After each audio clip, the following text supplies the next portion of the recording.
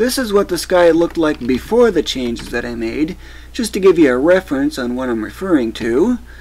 Right here, this is where the sky would normally meet up with the ground right here. Exactly, pretty much, or at least very close to it. However, from the height of the air taxi, the sky would actually be shifted down slightly, and from a much higher vantage point, I'm going to do that super jump just to give you an idea more quickly, Right now, you should easily start seeing the curvature of the Earth at this point. And at this point, or here where it joins up with the ground, this will be a lot brighter than this. And the stars will actually be coming in gradually downward instead of all in one big chunk like that.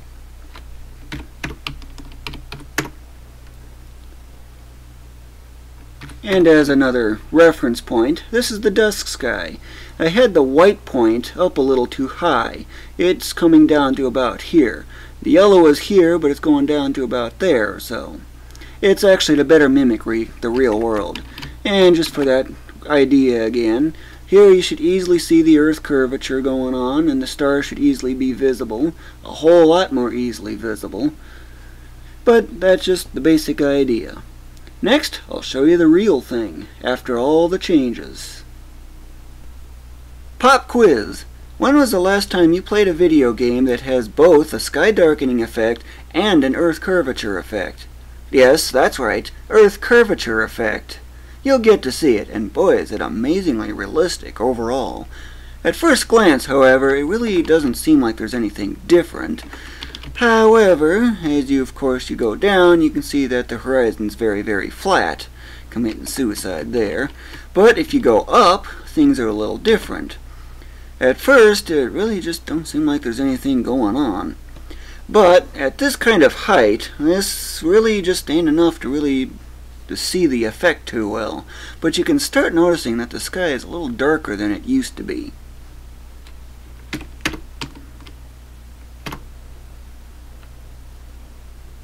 And the beautiful sunset sky, and dawn sky as well, for sunrise, also has changed quite a bit too. And in this case, it's actually a lot more realistic than what it used to be, taking after what I actually saw. At first glance, here of course you're right next to the horizon, you really don't see anything special. Going up, of course, you really don't see too much changing right before your eyes. But if you look very closely, you can actually see this shifting downward very gradually. I'm keeping the mouse cursor in exactly the same spot. Notice how that white has shifted downward some? And also, if you look closely at the very top of the screen right here, you can see that it's been noticeably darkened. It's still kind of hard to see the curvature, but you can actually see it at this point. It's kind of faint. For the best effects, there's no better way than to get up incredibly high, and thus, the Sentus Mountains. There's, well, for one, I love the way this white peeks up into this nice deep dark blue there. Isn't that just so pretty? And the scene is overall very pretty as well. Which is pretty much nothing new. Yes, I'm doing that special jump, frame advance. And now I need cycle advance. Yep, I remembered that. You can surely see something going on in the sky, but it's very difficult to see unless you really crank up the altimeter a lot. And when I mean a lot, I'm not joking. I really mean a lot. Okay, now, around here at this point, you can start to kind of see a curvature. This is about roughly the highest point for actually standing on top of a mountain that you'll be able to reach. It's actually slightly lower than that. But you, there's actually a plan for making a level that's even higher than this. In fact, that level takes you to about this point. Here you can clearly see the curvature, although it's not very significant. And if you look closely, the stars, already at only about the height of Mount Everest. Yeah, this is about the kind of curvature you'll see on top of Mount Everest. Now, for really bringing out that curvature, there's only one thing you can do, and that is time to go up. And the stars are coming in ever more gradually.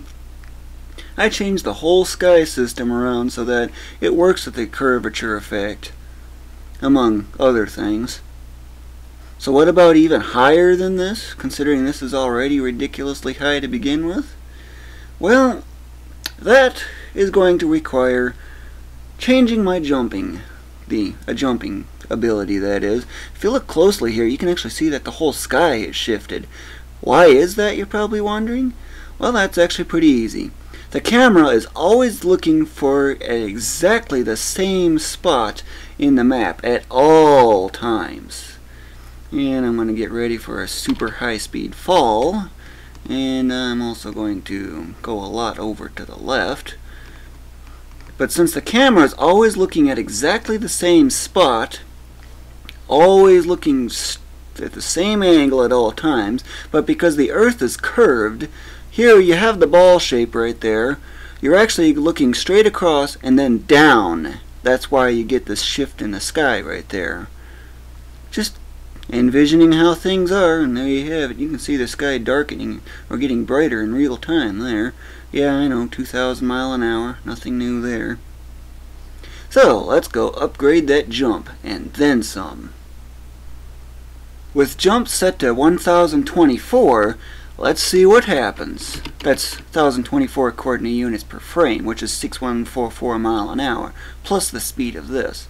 Ready? Here goes. Can you see the curvature starting to form in real time? Here it is, you can see it.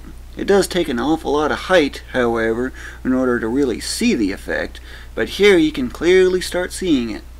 The stars don't come in for quite some time, but they should be coming in almost any moment. Uh, let's see. Yep, right there, I see them. And as the height keeps on increasing, then, of course, right about the... There's about the threshold of outer space, the international definition. As far as going up even higher, I'm going to really have to crank up the jumping even more. But for now, I'm going to do another dusk sky. And thus, the beautiful sunset, Bruggen Reef. Stars coming in real fast, much faster than they were before, and the curvature is very obvious and really stands out. But you can see that shifting in real time. So you're probably wondering, what's with all these odd lines and stuff? Well, that comes from pixel imprecision. I can't have a fraction of a pixel, it has to be an exact integer, and thus, that's where that's coming from. It's pretty neat, don't you think? You can actually see how there's a galaxy right here. This is just a placeholder for the stars at the moment. I do, once I get the overworld done, intend on getting the actual stars done. But here you can see the envelope of the Earth itself. So, let's go higher. A lot higher. You want to see the sky maxing out? Here it comes. How extreme of a jump am I referring to? Okay, how about 32,768 coordinate units per frame? Yeah, basically that's 32 times the width of the screen here in one frame. One frame. That's the distance of one frame. Now, what does that look like in real time going that fast? This is what it looks like. You can see the curving in real time. This is about the height of the International Space Station, in case you're wondering on that. And up and up he goes. Goodbye, Earth. It was nice knowing you. Yeah, I'm being a little funny there. And here, kind of about at this point, this is about 1500 kilometers above the Earth. Oh yes, seriously. I'm going to change the distance units, just so you can see that.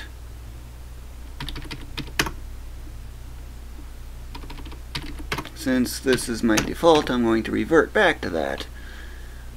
Yes, you can change the measurement units. I just thought I'd do that just to give you the idea of what 1500 kilometers looks like. But here, well, hmm, that Earth is really getting to be pretty obviously spherical, don't you think?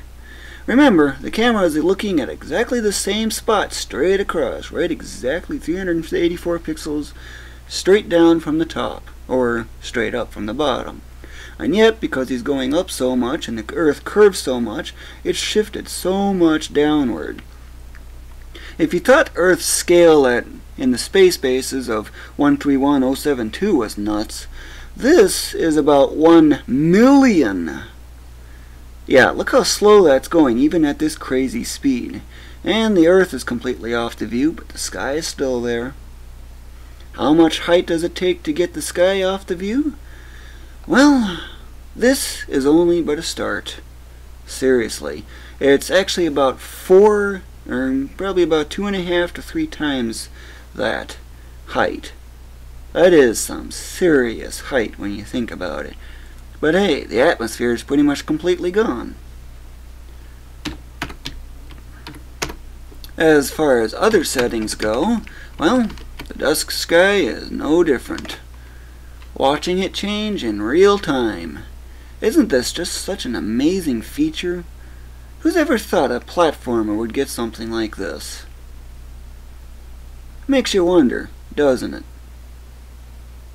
You can clearly see the envelope of the Earth around the atmosphere around the Earth. What about night sightings? Well, Carnivalesta. Uh, okay, what happened to the stars? Well, like the previous setting or system that I had before, you can't see them because you got all these lights and stuff drowning out all the stars. But if you go up, that gradually fades in. At the moment, I'm using that same placeholder image for the stars. However, crank up the altimeter and you can clearly start seeing that this curves around and there you have it. Earth curves even in that time too. This video was created by Ulillillia. Thank you for watching. Oh, and I just gotta do this. What is it? This. Yeah, note that extreme speed.